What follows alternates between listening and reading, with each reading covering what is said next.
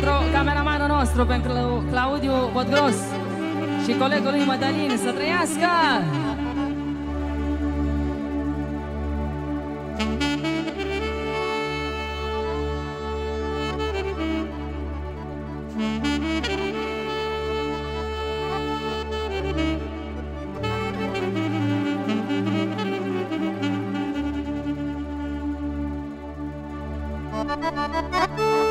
Thank you.